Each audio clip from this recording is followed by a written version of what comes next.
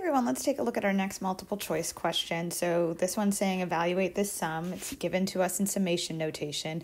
It's a geometric series because I can see that there's a multiplier here, right? There's this exponential term with the variable up in the exponent. So here's the base, here's the exponent. That is a geometric series. It's infinite. I can also see that there's that infinity symbol up there all good things. So we have a formula for infinite geometric series. We have this s is equal to a sub 1 over 1 minus r. And the thing I need to check for r, and you always need to check this, is that the absolute value is less than 1. So if I look at my r in this case, it's 1 fourth. So the absolute value of r is less than 1, right? Which means it's going to converge to a number. So I could rule this out. Now, just for example, let's say, and it doesn't here, but let's say this had said 7 fourths instead. If that, that base was 7 fourths, that absolute value is greater than 1, and then I would have had a divergent series. Now, again, it doesn't here, so I'm, I'm not going to say it's divergent. Um, but I, I just want to give you a, another for instance.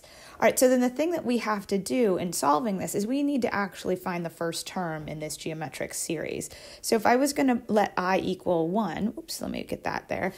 If I want to find a sub 1, that would be 50 times 1 fourth, which is 50 over 4. Okay, so we'll keep that in mind, and then let's just apply the formula, right? a over 1 minus r, so this is 50 over 4 divided by, oops, let me scroll that back up a little bit, by 1 minus 1 fourth. So that is 50 over 4. And then if I look at the denominator, 1 minus 1 fourth is 3 fourths. And so I have basically 50 fourths times a little 4 thirds. That cancels out. That leaves me with 50 thirds. And there's my answer. All right. Thanks so much.